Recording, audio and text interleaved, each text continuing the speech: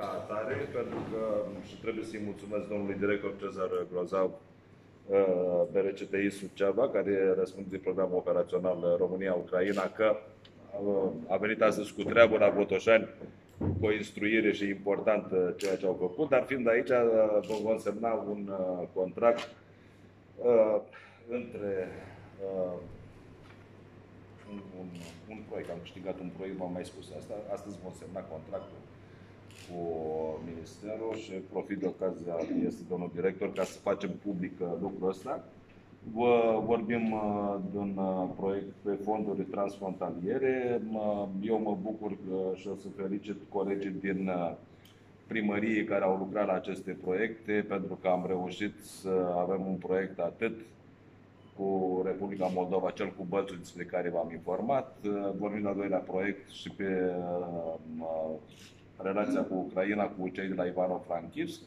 Un proiect uh, frumos pentru noi, un proiect uh, care uh, va pune, în primul rând cultural, și va pune în evidență niște lucruri frumoase în Botoșani. Avem parteneri, de asta este și domnul director Dănuț Cuțu de la Cultură, că este partener, Direcția de Cultură este partener în acest proiect.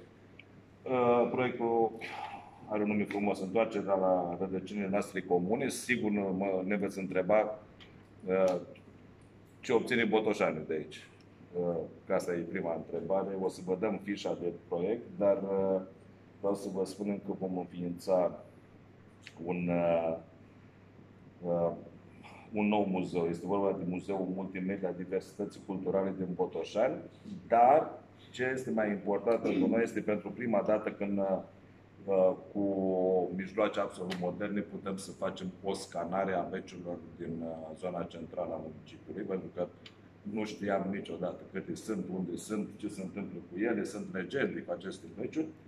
Uh, această scanare profesională ne va ajuta uh, ulterior să le punem în valoare, eventual, dar mai mult la toate proiectele noastre ulterioare, că Botoșanul se dezvoltă și în zonă centrală și în, și în alte zone, Uh, sigur uh, vom ști uh, cum să procedăm în momentul în care se va, se va dori să fie alte investiții, mai ales de zona centrală. Este foarte bine, valoarea proiectului este de 938.560 de euro, aproape un milion de euro, din care partea municipiului Botoșani de 520.800 de euro. M-am făcut o informare ce să dăm proiectul, veți primi fișa de proiect, o să vă